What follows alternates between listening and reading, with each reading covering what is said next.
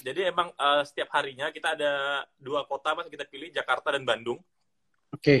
Jakarta emang kita fokus uh, pertama lebih ke talk show dengan beberapa apa pejabat tinggi gitu ya dan uh, stakeholders dan namun kemudian kita juga pengen menunjukkan apa ya uh, keindahan Indonesia salah satunya kita pengen ke Masjid Istiqlal jadi uh, untuk menunjukkan keberagaman dan inklusi uh, kita juga ke Stadion JIS nanti uh, bersama teman-teman delegasi. Hmm.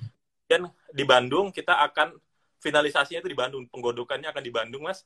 Uh, dan mereka emang akan rapat secara intens untuk uh, finalisasi komunike. Jadi emang kalau ditanya hmm. agenda tentu talk show, kemudian uh, site visit ke beberapa tempat dan uh, dan yang paling penting adalah finalisasi dari komunike tersebut. Hmm, sudah ada mungkin draft-draft atau bocoran finalisasi komunikenya itu Mas uh, Indra? Draft emang sudah dibuat. Uh, yeah. Draft secara roughly itu memang udah udah udah dibuat gitu ya. Tapi kemudian yeah. uh, finalisasinya mungkin akan uh, di launching ketika diberikan Pak Presiden gitu. Karena masih oh. alot diskusi, Mas. Medcom.id, a part of Media Group Network.